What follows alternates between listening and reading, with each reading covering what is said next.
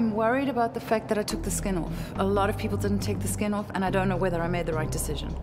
Looking a bit nervous. I'm terrified. Skin off. Yeah. One of the few people to have taken the skin off. This isn't great uh, skin for, for cooking. I love all those flavors. Uh, love how you fried the fish. Job well done.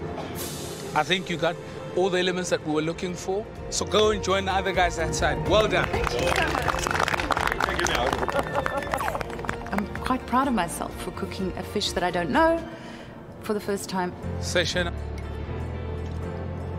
You know, for me, it's a very tasteful dish, and I would like to see more of what you can do. You're through to the next round, my man. Lovely stuff. Lovely.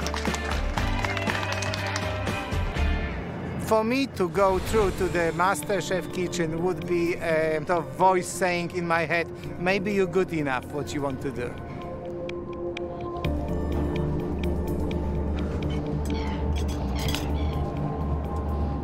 The pan-fried one is lacking something. Just the lemon is not enough. There's nothing tying the two together, and I find the fish overcooked and a little bit bland. Now, for me, overall seasoning is not there, and I'm disappointed in uh, bones that I'm finding in both fish. Pavel, I'm sorry to say, but it's, it's the end of your MasterChef journey. Please leave your apron. Go on. Cheers. Thanks, Pavel. In spite of me trying really hard, so not the best day.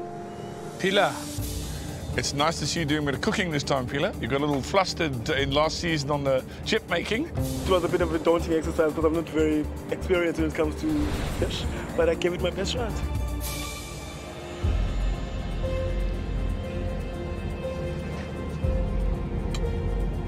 The sauce, when it went onto the plate, it looked kind of gloopy. But angelfish needs a thicker type of sauce. And that was a good idea. Whether it was intentional or not, I don't know. I really love the texture on the fish. Uh, however, I wasn't happy with the vegetables. They're a bit too soft for me. Let you know later. I was confident that my flavors would carry me through. Today I've made a pan-seared uh, angelfish. I've also made uh, spiced potato cylinders. If you have so little on the plate, you have to make sure that everything that's on there has to be cooked properly. You cannot put potato on there that's undercooked. It was almost still raw. Jacques, we're going to have to come back to you.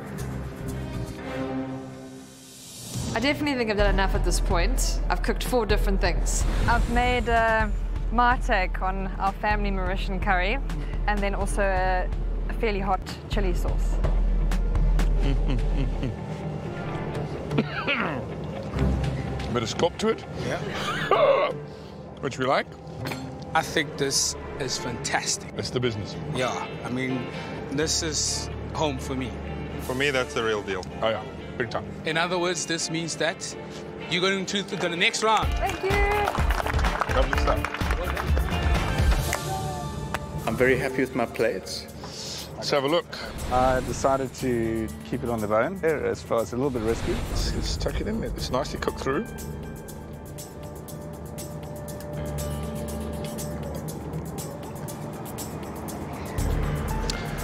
For me, if you understand angelfish, that's how you would do it. So you left the bone on there, you know, but it's not these little fine bones. It's the big ones, so you, you know you can miss it if you Yeah. eat it. You've got all the elements that we're looking for in a dish, and I think you've done a good job. Thank you. Ian, I say you've done enough to go through the next round, my man. Thank you. Lovely, Love- Hello, Roxy. To come this far and, and not make it through, especially on the first day, would just break my heart. Okay, I've made an angelfish uh, laksa.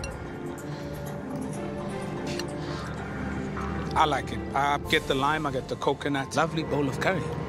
The fish is still beautifully moist in there. Roxy, you're going through. Well done. I needed to hug all of them. I had to. So I was super stoked to like show. Adele. Mm. It's almost there. For me, I think we need to taste a few more plates before we make a decision. It's pure. Right, so uh, I decided to make some angel fish cakes. I I, I think the fish cake's maybe a little on the dry side, but I like the direction this was going. We'll get back to you.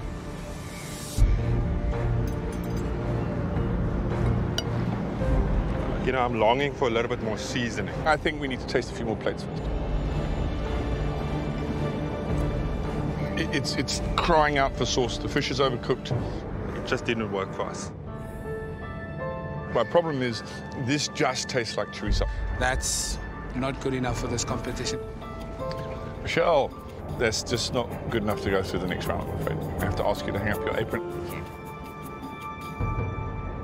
Tell us about your dish, All right, please. I wanted to go a little bit out the box, so I made a very light bobotie. Let's taste. Yeah. Yeah, proof of the pudding's in the eating.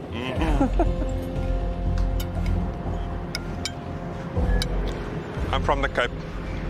We love Ubud here. I grew up on this stuff. Um, I wasn't convinced. And then I tasted it. And I was completely convinced. I can finish that whole plate. Brilliant. Thank you very. Well, you took a chance today. And it paid off. well done, you're going through. Ah, thank you. Claire, tell us what you made. I have made you a pan-fried angelfish seasoned with fresh herbs. I've done made you gnocchi. The fish and the fennel and the sauce would have been enough. By that I mean that's already a great dish. You've added process to that by showing us you can make gnocchi as well. So I think that's just a double bonus. Clever. I like it. Uh, We want to see some more. So you're through to the next challenge. Let's see if it's good.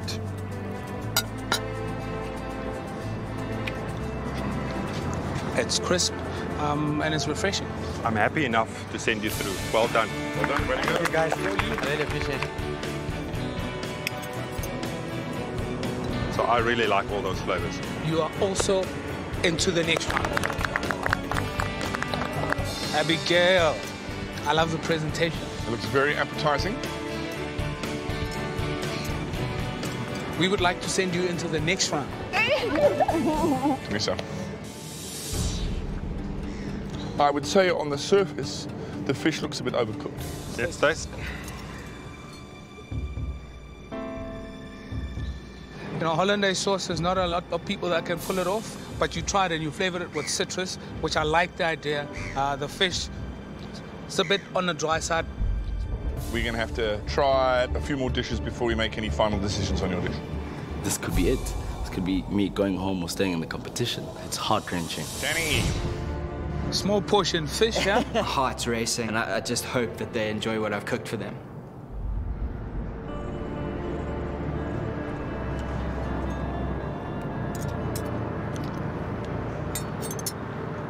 For me, cooking it on the bone, you're always going to get moist fish like that. The problem is, how do you season it to get, you know, all that salt and, and flavor in there? I think we need to taste some more before we make a decision. Thank you. Ein tope.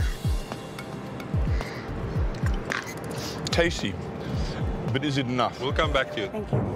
Donata, I think we need to taste one or two more plates before we make a decision. Too much of the grapefruit brings in that bitterness at the end, which is a bit unpleasant. We're going to have to taste what the other contestants dished up for us. Oddly enough, I'm feeling quite confident. Yeah, the fish for me cooked really, really nicely. Slightly under-seasoned to my liking. And we'll let you know. Just it. For me, the best thing on this plate are the pickled radishes. The problem is that favorite thing on the plate should be the fish. I think we'll have to wait and see. Right, move in. It's a pity you didn't do justice to your great filleting work of the fish. I think we, we need to think long and hard about these dishes. Thanks, Mervyn. I hope it's good enough for them. And Elisa, It looks a bit green. Green veg, green fish. It, it, it looks a bit... It's eco-friendly. Is it eco-friendly? Okay. For me, the, the fish is overcooked to the point of almost being sort of powdery in your mouth. broccoli florets were so overcooked that they started breaking off and it looks like chopped up herbs. Didn't really make the cut. Keep on cooking, Annalisa. Thank you. it's sad that it has to end now.